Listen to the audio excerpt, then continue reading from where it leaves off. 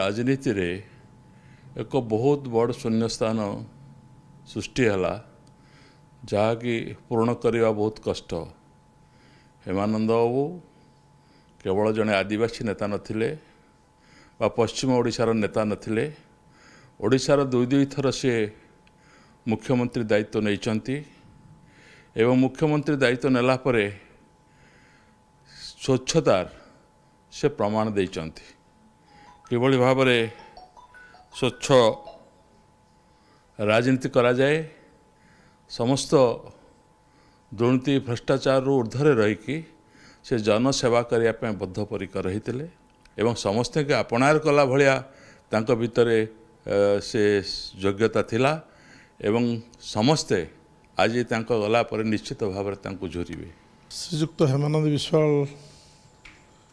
ଓଡ଼ିଶା ଓଡ଼ିଶା ରାଜ୍ୟର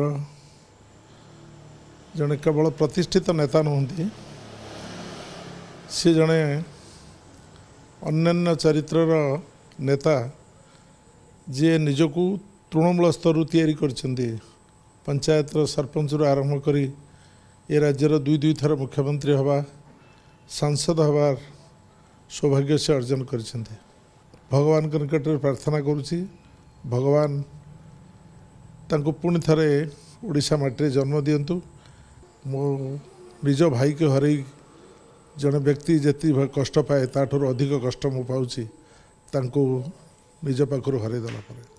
ଏ ଖବର ପାଇଲା ପରେ ଗଭୀର ଭାବରେ ମର୍ମାହିତ। ଏବଂ ଆଜି ଆମର ଓଡ଼ିଶାର ଜଣେ ବିଶିଷ୍ଟ ଜନନାୟକ ଜନସାଧାରଣଙ୍କ ନେତା ଥିଲେ ଶ୍ରୀ ହେମାନନ୍ଦ ବିଶ୍ୱାଳ। ସେ ପୂର୍ବତନ ମୁଖ୍ୟମନ୍ତ୍ରୀ ଥିଲେ ପୂର୍ବତନ କଂଗ୍ରେସର ଆଗଧାଡ଼ିର ନେତା ଥିଲେ।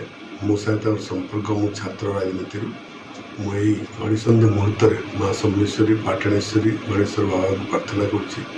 ତାଙ୍କର ପରିବାରକୁ ଶକ୍ତି ସାମର୍ଥ୍ୟ ଦିଅନ୍ତୁ ଯେମିତି ଦୁଃଖରୁ ହେଇପାରିବେ ଏବଂ ତାଙ୍କର ଆତ୍ମାର ସ୍ୱୀକୃତି ପାଇଁ ଜଗନ୍ନାଥ ତାଙ୍କ ସମସ୍ତ ଭଗବାନଠାରେ ପ୍ରାର୍ଥନା କରୁଛି।